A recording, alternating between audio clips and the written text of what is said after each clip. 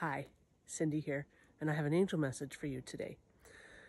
Um, at the end of this message, I'm going to just step aside and allow you to spend a few moments with this glorious white pine behind me.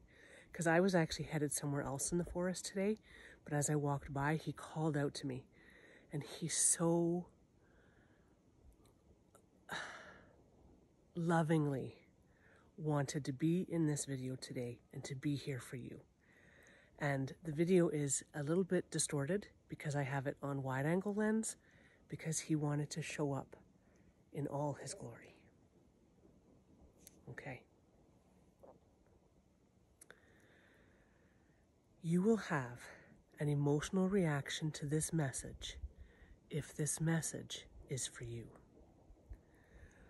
Once the portal of love opens and the mass awakening on earth begins, you will find yourself in a new reality. This new reality is unlike anything you have ever experienced before.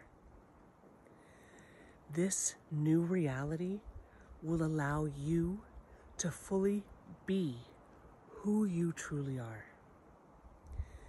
You will step into your being and you will shine brighter than ever before. This is going to be an incredible experience. You will need to ground yourself after this experience and make sure you are drinking enough water and getting enough exercise in the form of walking. Walking and drinking water are going to help you immensely throughout this mass awakening. Hope is a magical energy, and hope is bringing this new reality into your life faster than not having any hope at all. Love energy lives in hope.